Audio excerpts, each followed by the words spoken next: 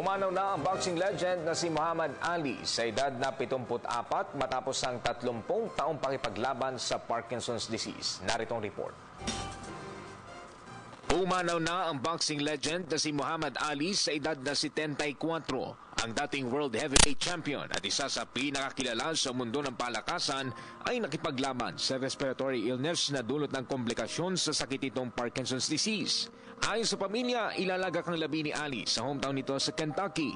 Cassius Marcellus Clay sa tunay na buhay, nakilala si Ali nang masungkit nito ang gintong medalya sa light heavyweight division ng 1960 Rome Olympics. Tinagurihan siyang the greatest. Makaraang talunin naman ito noong 1964 si Sonny Liston.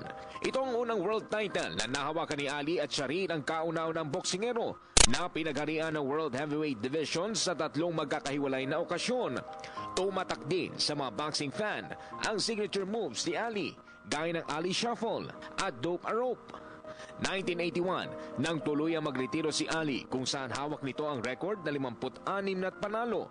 1981 nang tuluyang magretiro sa boxing si Ali kung saan hawak nito ang record na 56 na panalo at 5 talo. Malapit sa puso ng mga Pinoy si Ali, lalo na dito sa Pilipinas ginanap ang makasaysayang ikatlo at huling banggaan nila nang mahigpit nitong karibal na si Joe Fraser, ang Thrilla in Manila 3 noong 1975. Panalo via technical knockout si Ali, makaraang sumuko ang kampo ni Fraser.